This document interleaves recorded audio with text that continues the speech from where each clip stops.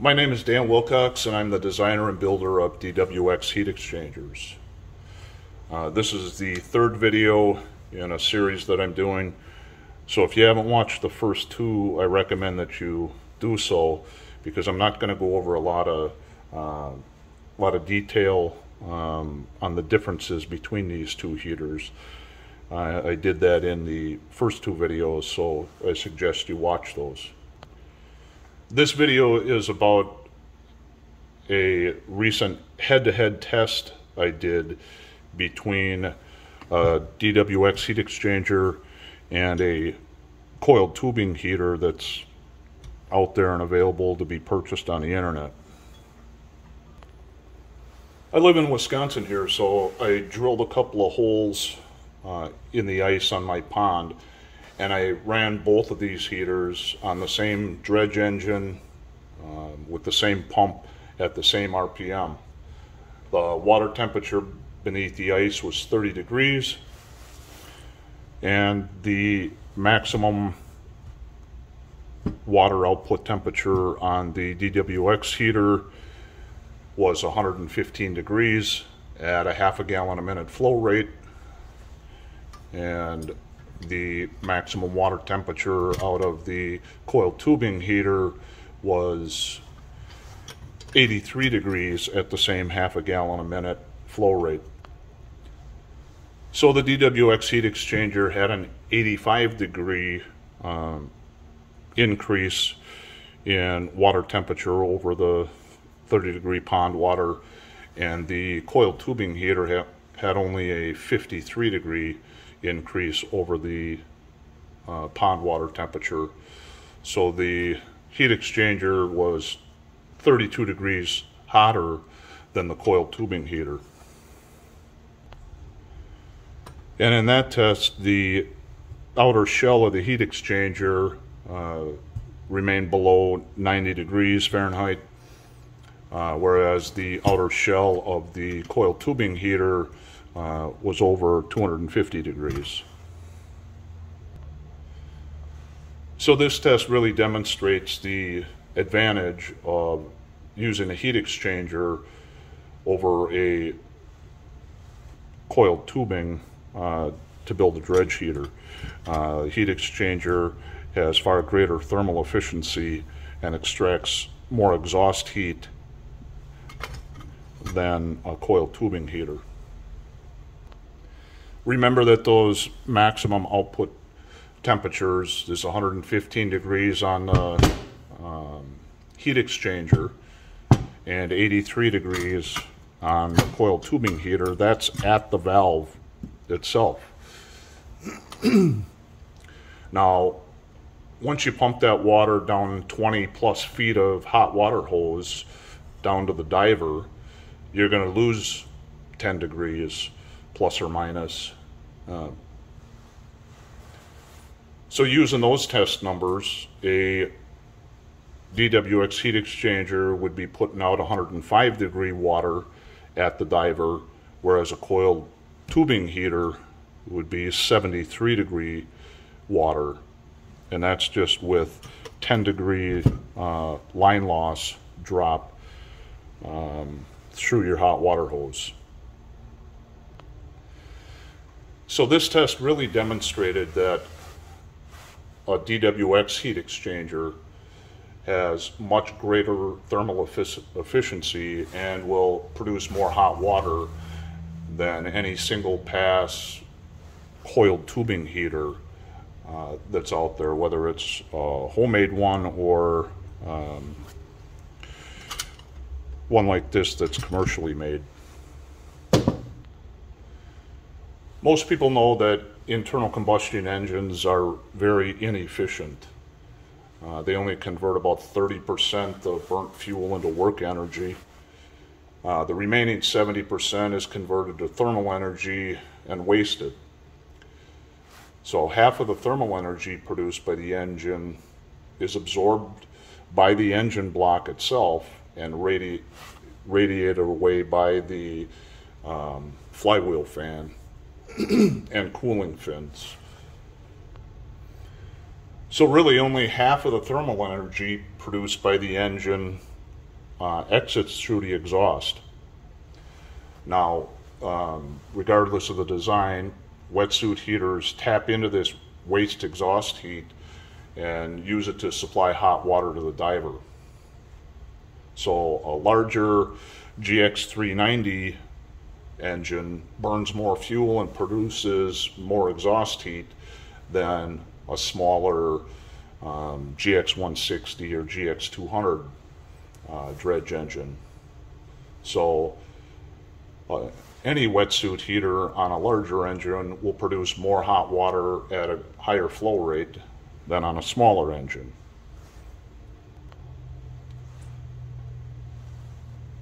So as I mentioned, on the smaller GX160 through GX270 dredge engine, the thermal efficiency of your wetsuit heater is extremely important if you actually want usable hot water. And by usable, I mean water that is hot enough and at a flow rate great enough to actually warm up the diver. That's the whole point of having a wetsuit heater on your dredge, right? And again, the water from the heater has to travel through 20 or more feet of hose to get to the diver. So depending on the temperature of the river water, it, you can experience uh, 10 degree Fahrenheit or more uh, drop in hot water temperature between the heater and the diver. So going back to those test numbers, um, like I said, with the, the line loss in the hot water hose, you'd be getting 100 plus degree water um, at the diver from uh, the heat exchanger versus 70 degree 70 degree water or below from a coiled tubing heater. So I personally, I as a, a dredger, I wouldn't consider that to be usable hot water. I mean, that's just far too cold uh, to actually warm up the diver.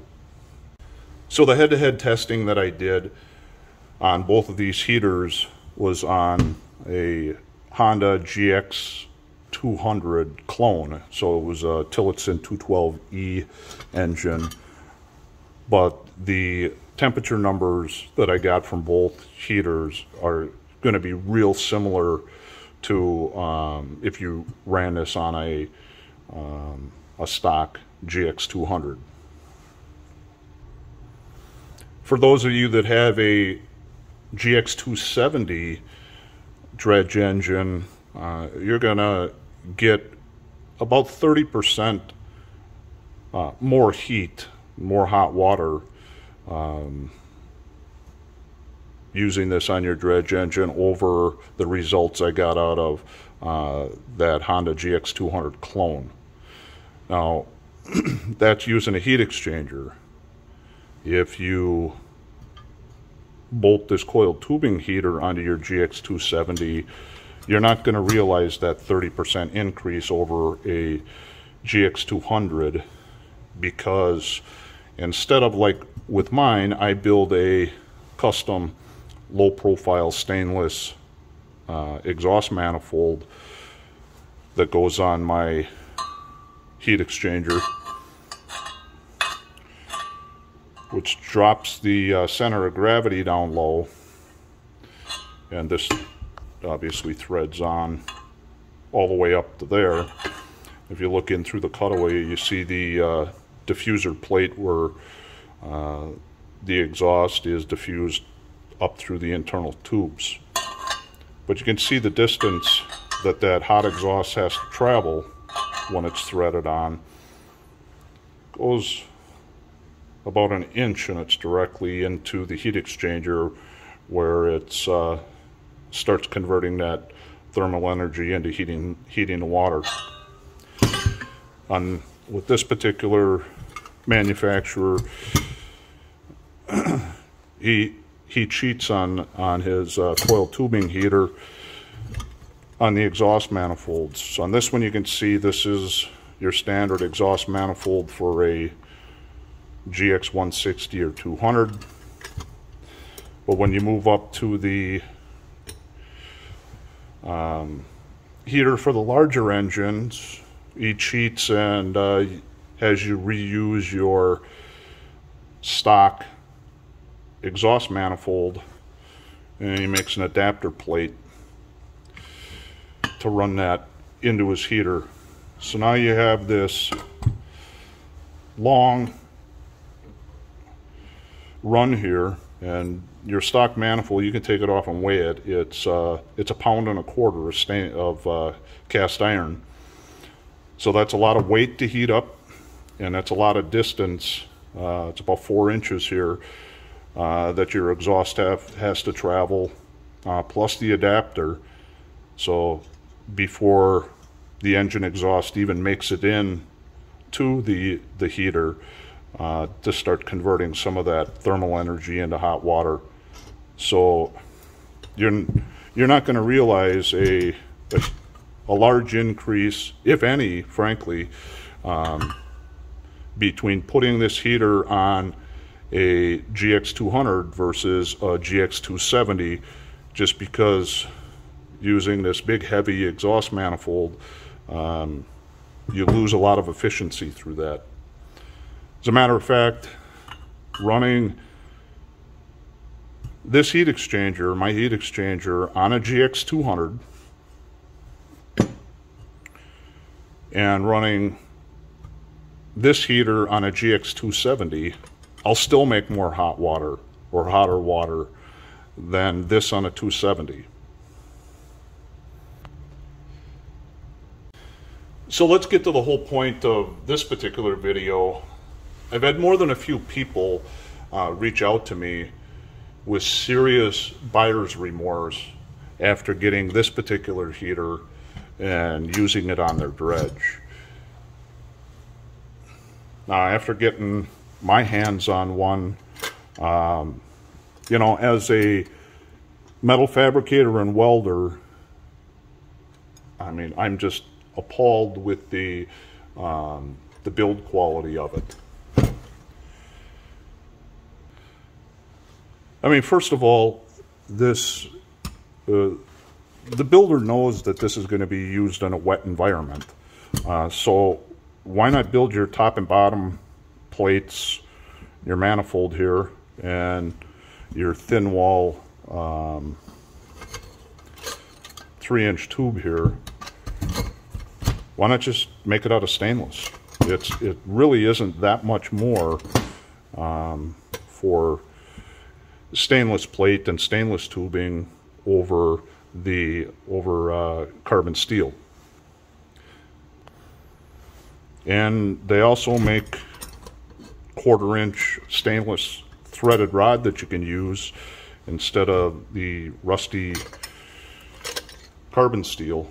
I mean, it, it it's really only, uh, to build this out of stainless as opposed to just this carbon steel, uh, per unit, it's maybe $20 more. It, it really is not that much more expensive to just build it with stainless where you're not going to have this, uh, you know, rusting and pitting problem. Other than that, you know, the, the strainer on these systems, any heater that you build, is like the most important safety feature okay? Because water from your dredge pump is going to be coming in with debris in it, and the strainer strains this out, or strains out that crap, so it doesn't plug up your uh, valve, your hot water hose, or the lines on, on this one, the input and output lines your, uh, of your coil. Now, like I said in, the, in uh, my other videos, these are only eighth inch, a little bit over eighth inch uh, inside diameter of this coil tubing. So it's pretty easy to plug up as opposed to having a one inch um, water inlet fitting. So it, but it, it still is crucial to, to supply whatever heater you build with clean water and keep the flow. because where you end up with with uh, dangerous situations or problems with any heater is the flow to the heater stops, the engine keeps running, and so any water that's inside the your heater, it's not moving, and the exhaust is blowing on it, and it's superheating it to a point where it flashes the steam. Now you got to remember. um, steam at, at 212 degrees, the expansion rate for water to steam is 1700 to 1. Um, you know, steam has so much energy, that's why they use it to power steam engines and steam turbines in like power plants or locomotives. I mean, it's it has an incredible amount of energy, and the last thing you want to happen is in any heater is your water flow stops, your engine keeps running, you superheat the water in your system, and it flashes the steam. That's how divers get burned. So if it's so important to provide clean water uh, to your heater, then why would you chintz uh, and buy the cheapest strainer that you could can possibly find? You know, I mean, it really is not that much more. This is like $15, this is $30. And, you know, it really is not that much more to, uh, what I think, do it right. You know, I'll show you the screen size differences in here. So this has much greater, you know, filter capacity where it's not going to plug up than this one. And the mesh size on this is way more than necessary. This is like 150 mesh. It may even be 200 mesh. Um, that's, that's way more than you need.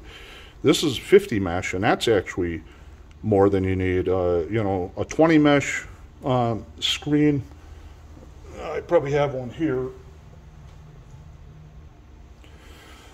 Yeah, here's a, you can see the difference. This is a 20 mesh screen, and really that's all you need. Um,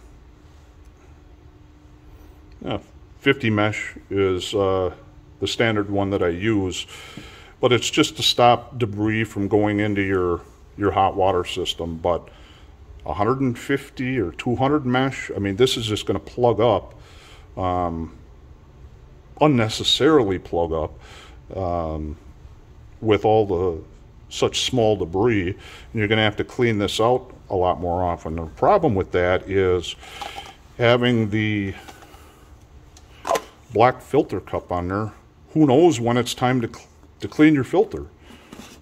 I mean, other than stopping uh, the dredge and opening up and then taking a look at it, um, having a clear strainer cup, it's just a huge advantage of just being able to look at it as it's running and determine when your strainer needs to be cleaned.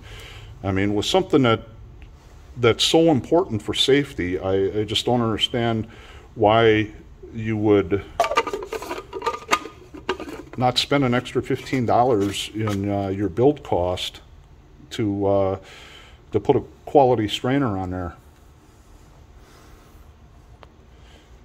So I guess the last thing I want to mention regarding uh, build quality on that is this, I guess what they call a uh, I, I don't know, hot water holding tank. Uh, once again, this isn't stainless. And the price difference between a, you know, eight, eight inch, one inch uh, nipple and caps between this galvanized is, I mean, it's a few dollars. I mean, it really is not that much more. Um, but this is what he uses. Now, I measured this. You remember the, uh, the coil inside of this coil tubing heater holds two ounces of water, that's it. And this holds an additional four ounces of water. So I guess they're using this as a buffer. If uh, water does flash to steam, and this is going to be full of water because uh, the hot water comes out of uh, the heater and goes into this uh, expansion tank or holding tank, whatever they're referring to it as and it's going to run into four ounces of, of hot water here, and that's going to be your buffer from uh, to try and drop that steam pressure um, and temperature down. Um, that's that's just a poor way of making a a reserve tank. You know, I mean, even if you were going to um, rely on this, um, let me grab something. So if you're going to, you know, use this nipple here, if you're going to rely on this as some sort of quote unquote safety uh, from the water possibly flashing to steam, then why not just weld a bung onto it like I did in, in this adapt, adapter I made for something else. Why not weld a bung onto this? Because that's your holding tank. And that bung you can use a, uh, put a temperature relief, 145 degree temperature relief valve in there. And so if the water inside this, um, your holding tank, this four ounces that you're using here, um, weld a half inch bung on it and put a thermal relief valve on there. Now when that steam enters in here and raises the temperature, you got a purge valve in there that's going to open and vent that steam out. I mean, if you're going to use something as crappy as this for a holding tank, I mean, why not? I mean, you know, spend two dollars, weld a bung on there, and put a, you know, a fifteen dollar thermal relief valve in there. I mean, I wouldn't use that. I mean, I'm, like I said, I'm appalled that that's the quality of the build that they use. You can go on Amazon and find a um, a reservoir stainless steel reservoir tank for like twenty or thirty dollars and here's one I found here on Amazon. It already has uh, quarter inch bungs TIG welded into it. This holds 30 ounces of water. It already has a, a mount TIG welded on it. You, so you can put this in line.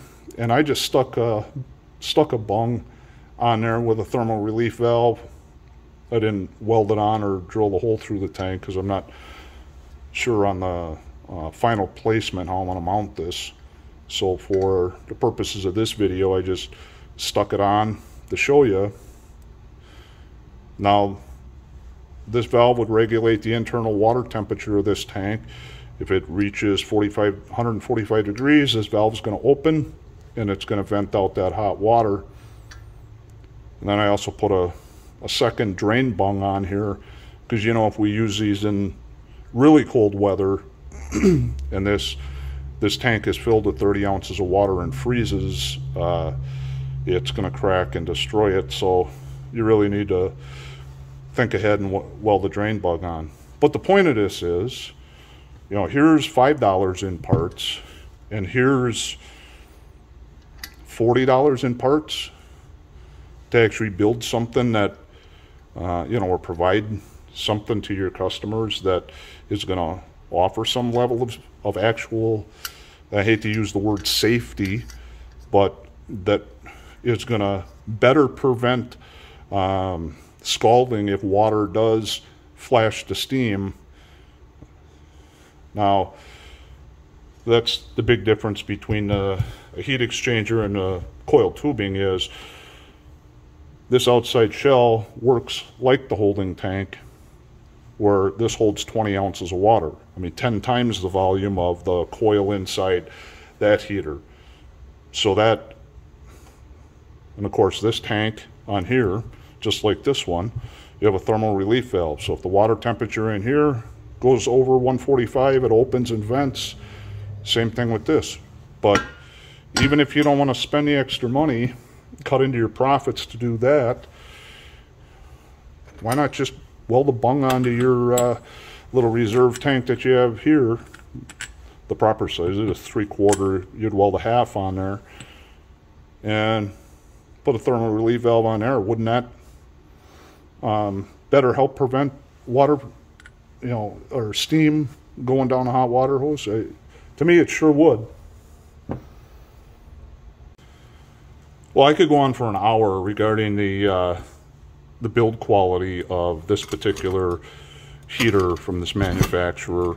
The bottom line is is you're looking at, and I'm being generous, you're getting $150 worth of parts uh, for 750 bucks, and that's why I have so many people with buyer's remorse contacting me and asking me, "Hey, I, I already have I have this thing. Uh, what can I do to improve the efficiency of it?" And really, that's what this video is going to be about. Now you're stuck with this. Now what do you do with it? I mean, money is tight for everybody. I get it. Um, so you want to try and um, cut your losses at least and make this a little more usable. Now, I don't expect that uh, everybody watching the video here is going to be able to do the, the things that I'm going to do to uh, upgrade this heater, um, but at least it'll give you some idea on, on what you can what you can do with yours. So the first thing is these these oversized uh, top and bottom plates um, don't help with the efficiency of this. You really want to decrease the overall mass of this heater just because of the way that it's designed. So I ran this uh, stainless coil through my pressure or parts washer to get a lot of the carbon off, but it's still um, still pretty dirty. But the, like I said in the other video, there's approximately 15 feet of uh, quarter inch coiled tube with about a little over an eighth inch inside diameter. So I mean it's pretty heavy wall um, tubing, much more than it actually needs to be. Now stainless steel uh, isn't the best for uh, thermal conductivity. So you want to have a, as thin a wall as possible to really transfer that heat. Now you can see this coil is just straight through. There's nothing in there as a, a baffle or a restrictor to slow that uh, uh, the exhaust that's passing through there down. When you look into the the shell itself, it's just a straight through shell. And then there's a half inch bung welded on this side with this dinky little uh, muffler. And the the exhaust manifold itself that he has, this is just standard zinc threaded rod, so these get all rusty as well. And they have these oversized gaskets here. But you can see the, on the inside, that's the top cover, you can see the rust and pitting that's happening from uh, the condensation in the uh, engine exhaust. And the bottom plate was the same way, but I actually uh, bead blasted uh, the inside of this plate, not the outside. because I was thinking about reusing this bottom plate and then uh, I decided against it.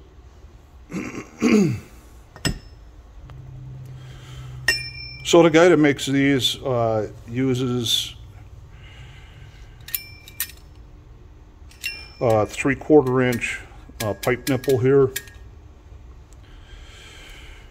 So he ends up with, uh, it's about 5 eighths inside diameter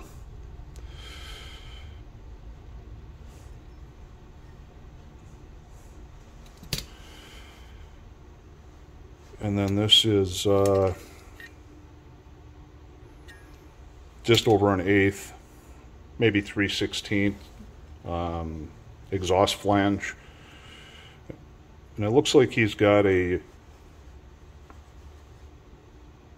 a plasma table from the marks on here And, you know, one thing I can mention is that, uh, I don't know about yours, but uh, my plasma table cuts stainless just as well as it does carbon steel. So um, why not just use stainless, I guess is the question. so after I ran uh, that last head-to-head -head test using the stock configuration on this heater, I pulled my spark plug and there's a lot of restriction in that heater to a point where my engine just really wasn't running properly. You could hear it. Um, so because all that exhaust restriction, uh, my engine was running rich. So if you buy one of these coiled tubing heaters from this particular guy, um, you better buy a jet kit because you're going to have to change your uh, reduce your high speed and low speed, speed carburetor jet in your your engine. It's really restrictive. Um,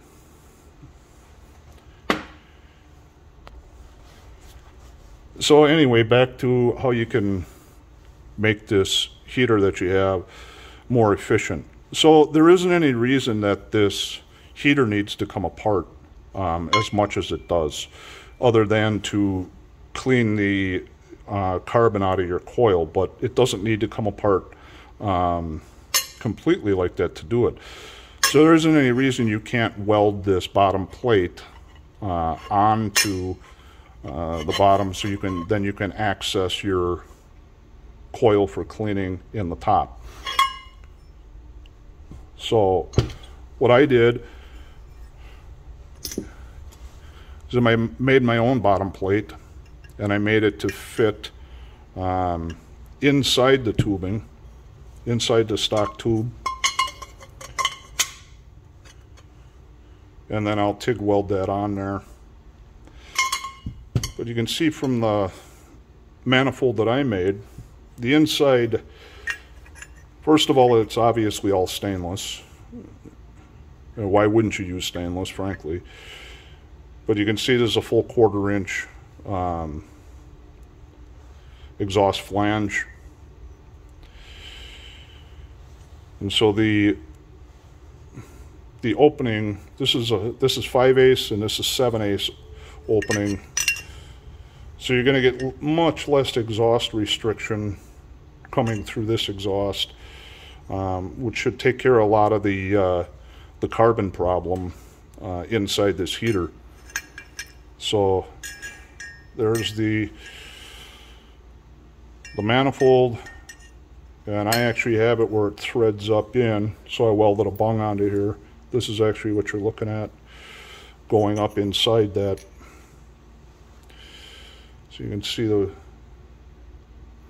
this is a GX 160 to GX 200 um, exhaust manifold that I use.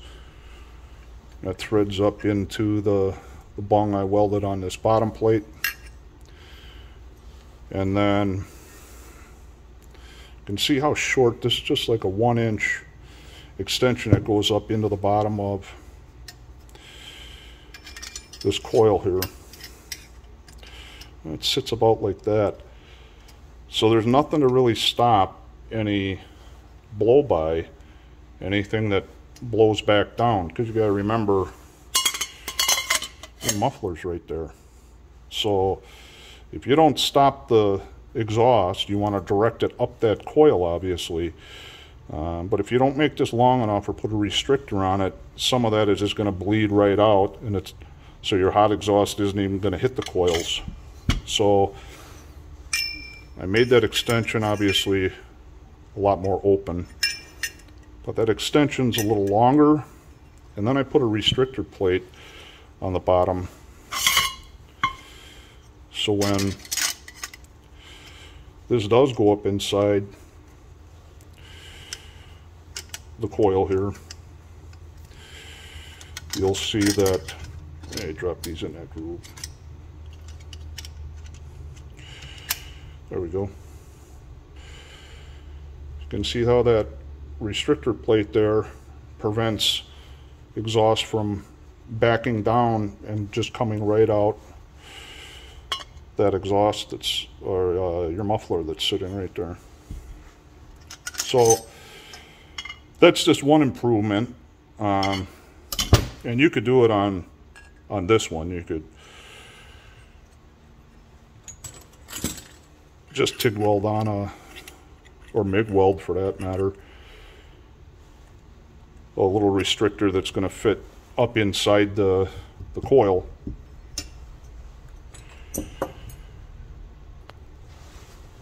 So I eliminated the um, this bottom plate and then this top plate here is really oversized too. It doesn't need to be that big. What I did was uh, I welded a, a uh, just a lip in here.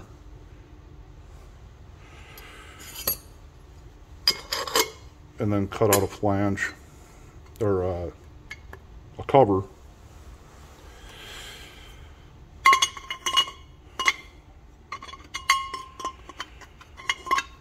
So your bottom plate is going to get welded in here. And this is where your coil ins and outs are going to come out. And then you're going to have a removable cover. Now the reason I did this is I really wanted to clean up this outs outside uh, for the purposes of putting in insulation on here. So let me stop this and I'll put the screws in so this is the uh, top cover.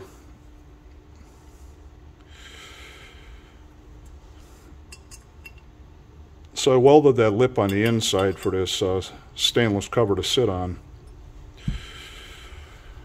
And of course used a, some stainless button head bolts here.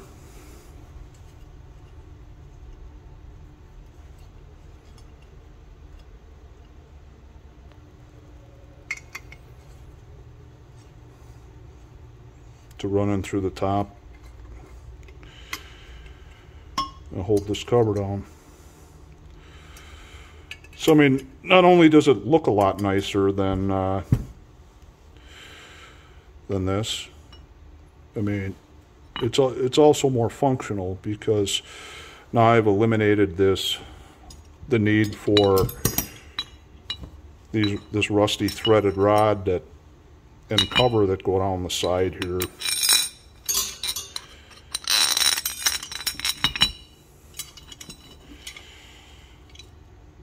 Okay, so that cleans up this, the sides, gets that out of the way.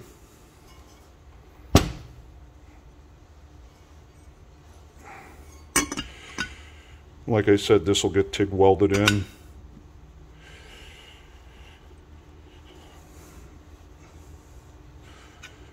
Not only does that look a lot better, if I do say so myself, it's much more functional. It's a lot less restrictive uh, for the exhaust. And what that does is it opens it up for me to be able to insulate this outside shell. Because if you remember from uh, the numbers I gave you from the test, this, because the, the exhaust just blows right into here, this outside shell heats up uh, to exhaust temperature. Gets really, really hot. And then that heat is radiated away and is lost. So um, this should be insulated right from the manufacturer. I mean, to just send this bare, uh, again, like I said, he's not concerned about efficiency, um, building it the way he does. All right, let me get some of this crap out of the way here. I'll show you the real reason I got rid of the top and bottom plates is uh, to give me a nice open spot here that I can uh, properly insulate this outside shell. Because stopping the heat radiating off this shell, if you can uh, insulate this and force that heat to stay inside here, it's going to make this heater a lot more efficient. So um, you certainly can uh, get your header wrap get it wet, and you can just start wrapping and wrapping and put, you know, four layers on there. But there's a company called Design Engineering Incorporated, um, and they make all kinds of, you know, header wrap and turbo wraps and soundproofing, uh, heat shields. You look them up online. Well, they make a, a product. It's called uh, Forma Shield, and it's rated at uh, 1500 degrees. And so it's it's this thick insulation here. And then it has an outside aluminum textured shell to it. And now with those rods out of the way, obviously this one, this is a leftover piece. Um, it hasn't been cut to size. That's going to make a wonderful uh, heat wrap and heat shield for this uh, this heater. And that's really going to hold a lot of check out how thick that is. And this is rated at 1500 degrees. So I mean um, this isn't getting over uh, you're not going to get anywhere near that um, with the exhaust heat. Maybe 450 would be the max on it. Here's the number if you guys are interested in that.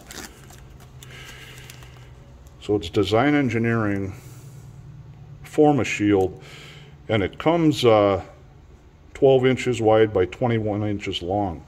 It's just, I've used this on, on a ton of, a ton of builds, and it's just, just wonderful uh,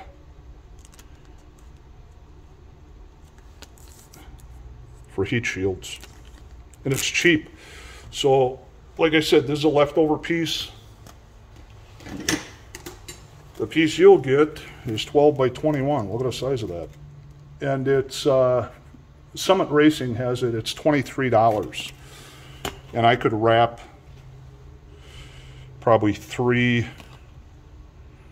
uh, three of these heaters for at least two, but probably three with uh, uh, one sheet of this. So it's 23 bucks, which begs the question, uh, why isn't the manufacturer doing that?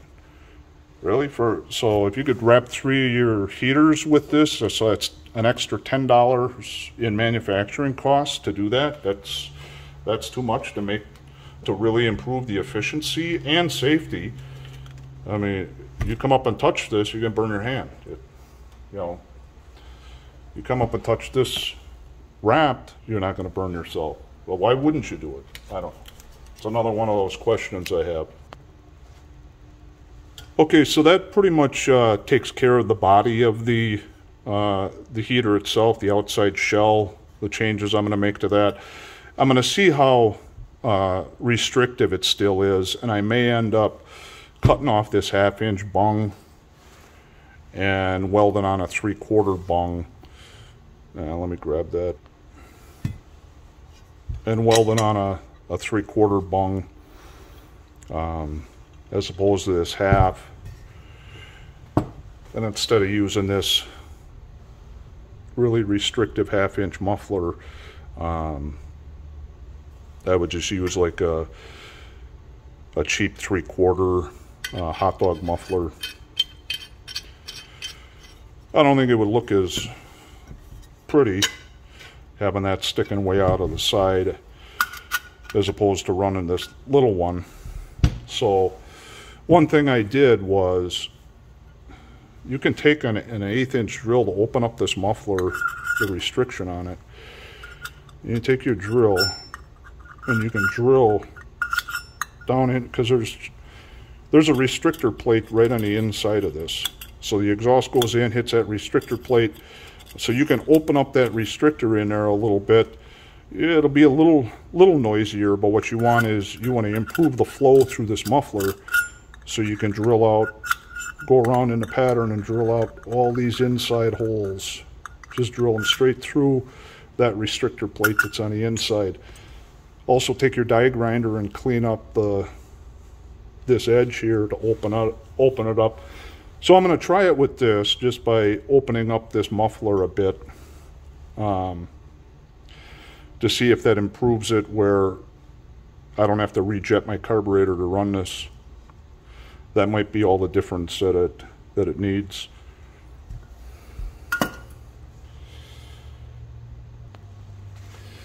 The only other change I'm going to make to the uh,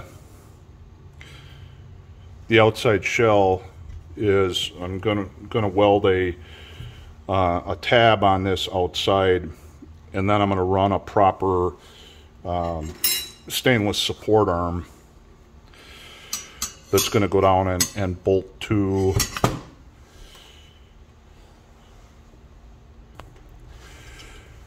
the actual mounting lug on all the side covers. All the GX 160s, 200s, and clones of those have this mounting tab on their um, side covers, and that's what it's used for. So it's a perfect uh, size of that that lug there, and that's where my heat exchanger uh, support arm bolts to.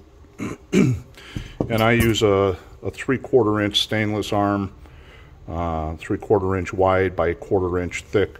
So, I mean, it is a very robust um, arm that you're not going to bend. So I'll weld the tab onto the outside shell of the heat exchanger.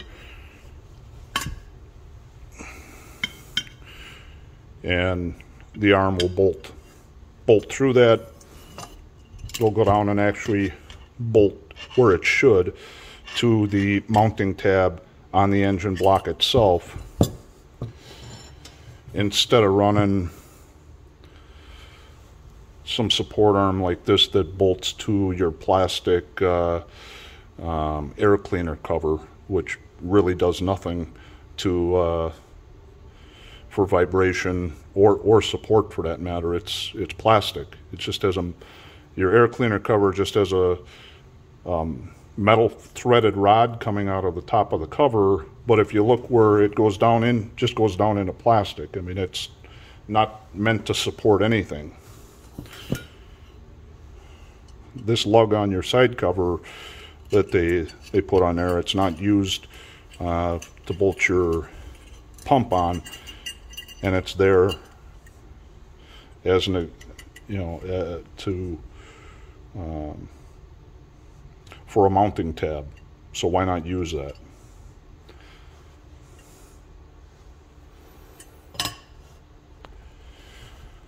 So that's pretty much the modifications I'm making to the uh, the outside shell. Other than obviously insulating it once I get it all welded up and put together.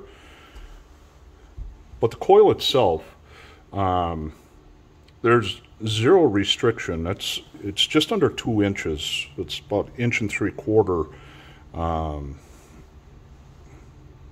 opening here that goes up through that coil. So there's no restriction on the exhaust. It just rushes straight through. And so, you know, I have some experience working with um, plate heat exchangers. and so what you find on plate heat exchangers is uh, internal baffles that not so much slow down or restrict the exhaust, but it, it gives the exhaust, um, instead of having a straight through shot blowing straight through, it gives it an angled path, which does slow down the, the exhaust, the velocity, without restricting it too much and it, it's better able to transfer heat um, to the plates and to the coils. So what can you do with this stock coil that they have here? So what I use is I got some half inch by two inch fender washers. Now these are 818 stainless And uh, what the 818 stands for is, there's a stock one. It's 16th of an inch, uh, half inch uh, by two inches on the outside. So 818 is 18% chromium, 8% nickel. So it, it's basically 304 stainless. Uh, so that's would be rated good for exhaust. Uh, and they're thick enough that you're not going to have any warping or twisting on them. So um, two inch by half inch by quarter or uh, 16th stainless fender, fender washers. And I bored them out, four of them out to uh, three quarters of an inch. And I'm going to use these as restrictors or baffles to insert inside that coil. And I'm going to put one in to show you here. So this coil itself has a lot of spring tension to it. It's very tightly wound um, and it holds its shape well. So I jam a small screwdriver in between the coils and that allows me the ability to get that two inch washer and lock it in. And now I just put a baffle or a restrictor inside the coil. And with the spring tension of, of this stainless, it's not going anywhere. I mean, they're extremely difficult to shove in between the coils. You can see it sitting in there. And what I'm going to do is put uh, four of them in this coil. There's one in the top. Remember, I do have that restrictor that's coming in in the bottom. So I want to come up a bit, then I'm going to put a total of four of these baffles in here going up through the coil. So there'll be I wouldn't call them restrictors because these are three quarter inch. Uh, I bored them out to three quarter. Um, so they shouldn't have too much exhaust uh, restriction, but they will baffle the, the exhaust going through enough. So these washers themselves are going to heat up and they're going to transmit that heat uh, to the coil because they're trapped and making contact with the edge of the coil. So instead of just the exhaust heat blowing on this outside and on the inside, um, now we're actually dumping some heat in between the coils as well. so that's going to better transfer the exhaust heat to the water that's flowing through the coil here.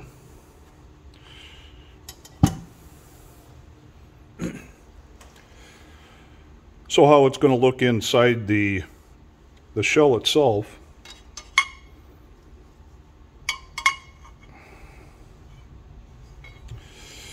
is the new bottom plate that'll be welded in.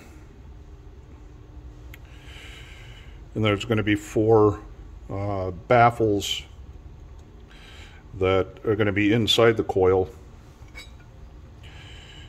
And the exhaust will go up to the top the new lid that I have on there that's closed off. Once it hits the top, it's going to cycle back down the outside of the coil, heating it up, and then ultimately get pushed out through the muffler. So putting those baffles inside, these restrictors inside the coil, um, and then really insulating not just the this outside shell, but I'm going to cut a piece for um, the top and maybe even the bottom. I may uh, cut an insulation piece to to go in there. Oh, and one thing I wanted to to say when using this uh, this DEI mat uh, form a gasket. Um, hold on. 3M actually makes um, some high temperature foil tape. So when you wrap this around and and you're going to cut it to to length, you're to there's going to be a seam here. If you want to make it look nice, like I always have to, um, get some of this 3M foil tape. It's it's rated to 600 degrees, and this outside temperature is going to be nowhere near 600 degrees, but the adhesive in there is rated for that. And so that'll just be a real nice clean way of, you know, finishing this off where when you have it running on your dredge, it's going to look, it's going to look impressive. And then, like I said, I'm going to cut out a, a, a circle for the top and put that on. So this entire shell will be wrapped with this uh, DEI Forma shield and also the top and we'll see if uh, I fit a piece in there for the bottom. And then uh, with those modifications, I'm going to go back out on the ice, uh, drill another hole, set up the same test rig because we already have the baseline numbers for uh, the stock configuration on this heater. And we'll see with uh, changing the manifold, um, putting some restrictors or some baffles inside the coil and running some really decent insulation, uh, how much we can improve the efficiency of, uh, of this heater. So some of you guys with your buyer's remorse of, uh, of buying one of these, um, maybe we can actually make it uh, a lot more functional um, than what you have we'll see. The next video I'll make um, is going to be run out on the ice and running a test on on these modifications to see how well they work. Thanks a lot for watching.